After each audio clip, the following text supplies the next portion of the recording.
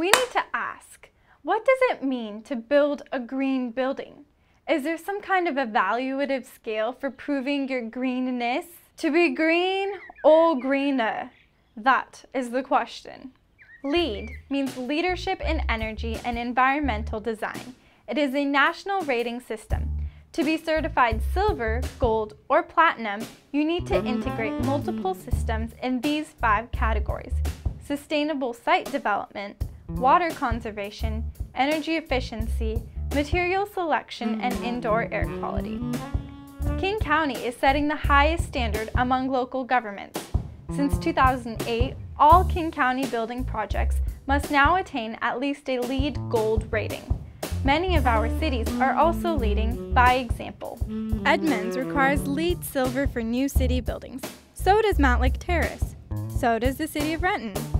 Kirkland has the same policy but hopes to adopt more comprehensive green building codes in 2011. The city of Mukilteo built the first LEED Gold building in Snohomish County, the Mukilteo City Hall, followed by the Rose Hill Community Center, which achieved a rating of LEED Silver.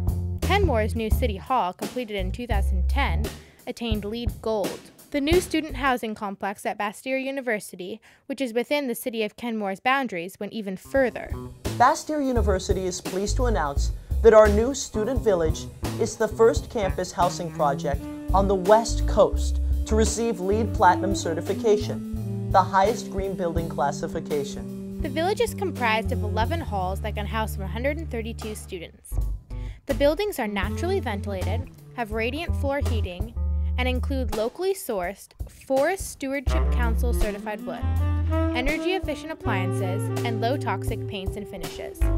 Roofs are angled upward on both sides to catch rain in the middle, which is released slowly into a nearby wetland, preventing flooding and erosion. Vegetation on some of the rooftops helps with insulation and CO2 sequestration.